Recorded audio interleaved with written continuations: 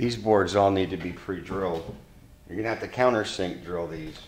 First, we're gonna start off with a smaller drill bit to make a pilot hole. And then we're gonna follow up with this larger bit. Now this bit needs to be wider than the screw head itself. If you don't have a countersink drill bit, which makes this job real easy, you can use some tape. I'm gonna use some Teflon tape right here to mark my drill bit so that I'll know when to stop drilling. That way all our holes will be the same depth. I'm gonna come up about an inch, which is how deep I wanna drill. And as long as you run this the same direction that the drill bit's spinning, just like Teflon tape on a plumbing job, it'll stay on there. Now I have a little guide that's going to tell me when to stop.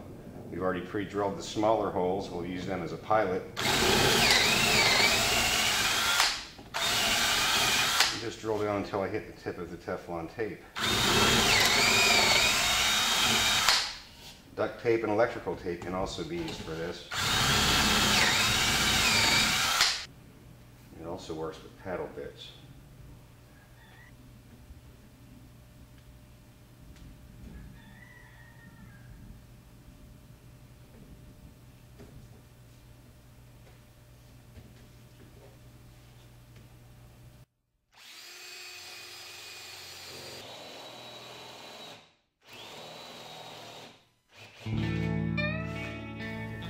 That's just right.